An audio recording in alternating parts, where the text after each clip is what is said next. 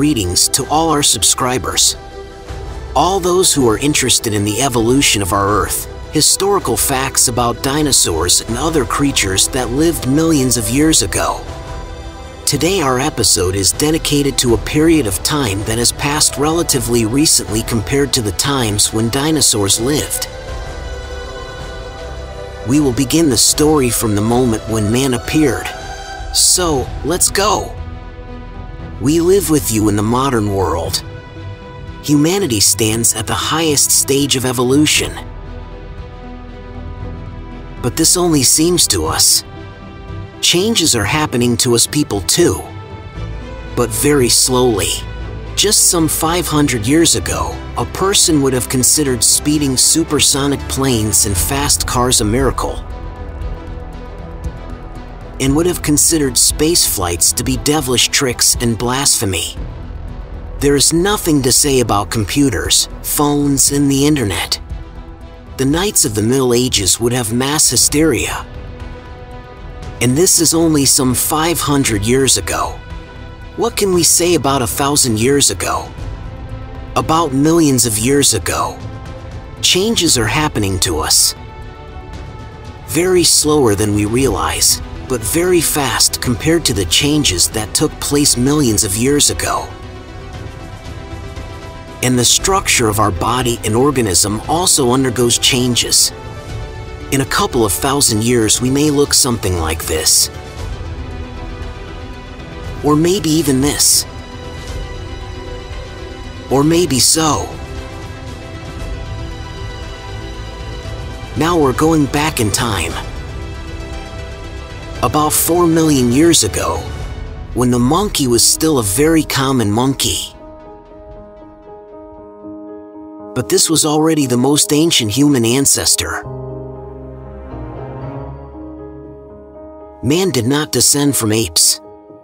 He essentially remained a monkey. Only modern, reasonable, and at times civilized. But what happened anyway? Many millions of years ago. Then began the exact moment when changes slowly began to occur in her body. They happened very slowly, thousands years. The first modifications appeared when the monkey was no longer a monkey, but it was still far from being human. There is a theory that a group of monkeys that lived on the future African continent 5 million years ago split up and dispersed over a vast territory. From one group, humans emerged, and the other transformed into the closest species to humans that we know today. It's a chimpanzee. One group evolved into hominids, and you and I appeared and the other stopped in evolution. But the chimpanzee is by far the most intelligent animal and very closely similar in development to humans. And it is likely that after many years the chimpanzee will become the creatures that will look like the characters from the cult films about the Planet of the Apes. The group of hominid monkeys that turned into humans was facilitated by earthly disasters, forest fires, floods, and, as a result, temperature changes. Nature forced the monkeys to come down from the trees. But on the ground, they had to learn completely new methods of survival. A change in diet and a different defense against enemies turned primates into intelligent monkeys. Then it was the predators who greatly contributed to the development of the future man, and it was they who forced the monkey to pick up a stone from the ground and use it as a weapon.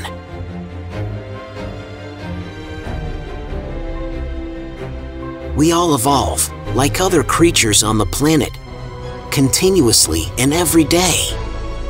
We just have to understand that such a process is very leisurely and very slow, lasting thousands and thousands of years.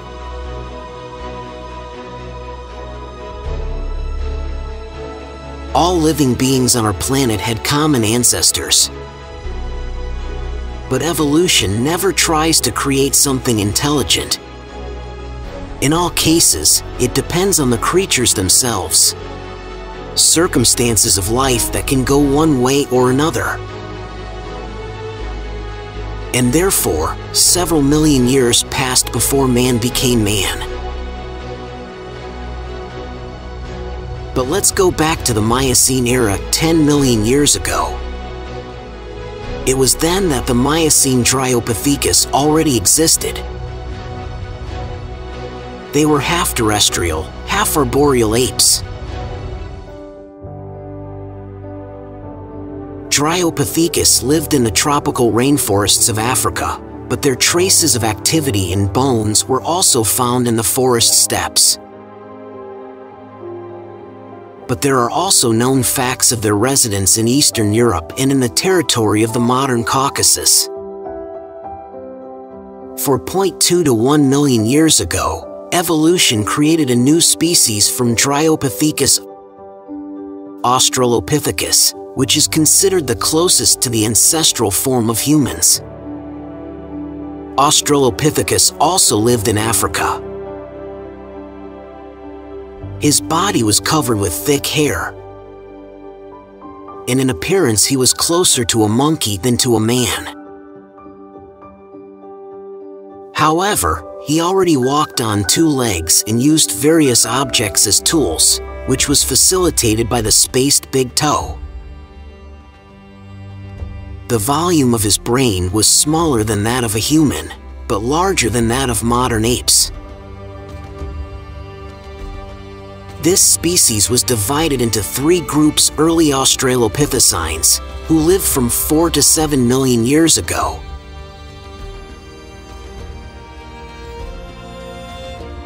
Gracile Australopithecines 2 to 4 million years ago, and the massive Australopithecus from 1 to 2.5 million years ago. Judge for yourself how slowly the evolution of the transformation from monkey to man occurs. It was in Australopithecus that signs of upright walking began to appear and the structure of the skull changed. Australopithecus played a significant role in human evolution. The species Homo sapiens, or Homo sapiens, traces its roots to Australopithecines, splitting from a common root with Australopithecines approximately 3 million years ago, and this group was called the evolutionary group. For 3 million years these creatures were nothing more than apes, walking human-like on two legs, albeit hunched over. Perhaps in the end they knew how to use available stones to crack, for example, nuts. The life expectancy of Australopithecus, which was constantly under threat not only from predators, but also from some large herbivores, was insignificant and averaged 20 years. Almost none of them lived to be 40 years old, and 1 in 7 lived to be 30. The next link in evolution was made up of a new group Pithecanthropus. Translated from Greek, monkey man. Pithecanthropus appeared about one and a half million years ago. The short stature of the future man was a little more than one and a half meters. In terms of brain volume, Pithecanthropus occupied an intermediate position between Homo habilis on the one hand and Neanderthal man and Homo sapiens on the other. A skilled person had a brain volume that was half that of most modern adults. What did Pithecanthropus do? Well, of course, their main occupation was searching for food and in addition to collecting edible herbs and berries, they were already hunting various animals with might and main because the vegetation was not enough for the body, which already required proteins and fats. Parts of the skeletons of rhinoceroses, elephants, hippopotamuses, and giraffes were discovered near the bones of Pithecanthropus.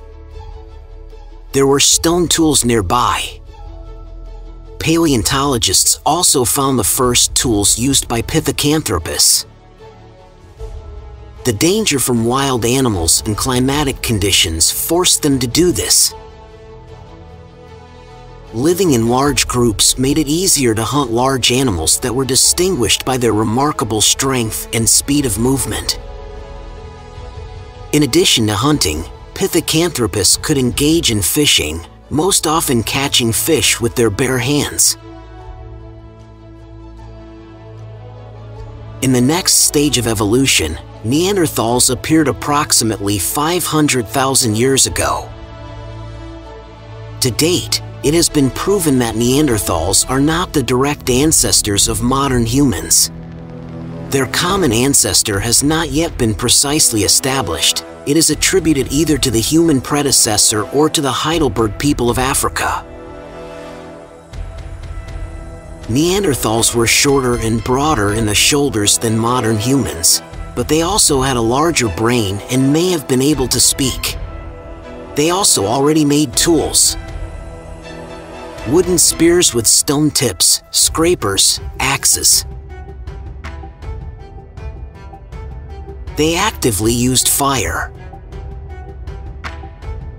They ate mainly meat, although they also ate plants. In addition, Neanderthals used medicinal plants.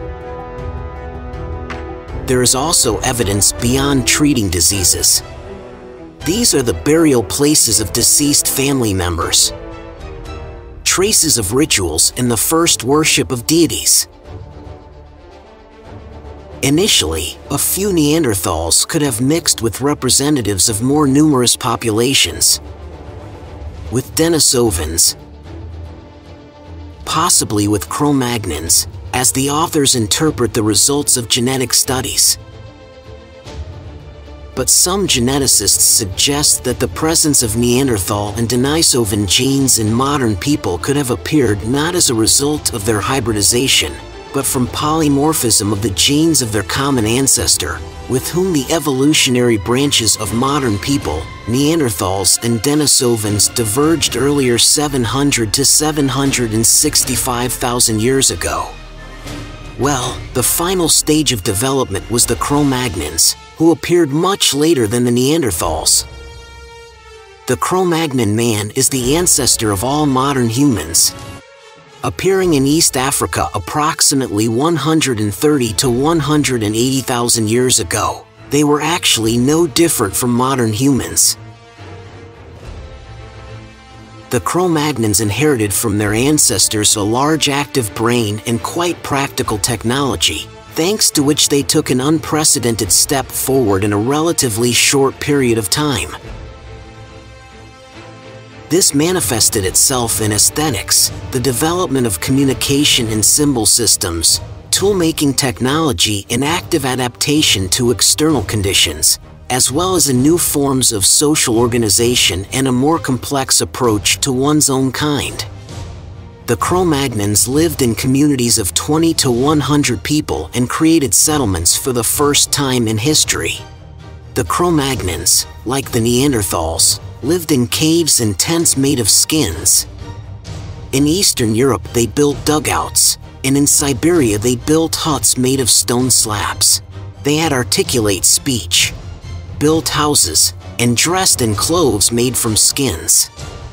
They lived in a tribal society and tamed a dog. Succeeded in hunting wild animals. It was the Cro-Magnons from Africa who began to gradually move west. Both the remains of these human ancestors and their cave paintings were discovered in France. They were 6,000 years old. We briefly told you about human evolution. If you liked our episode, like and comment your opinion. And also subscribe and be sure to click on the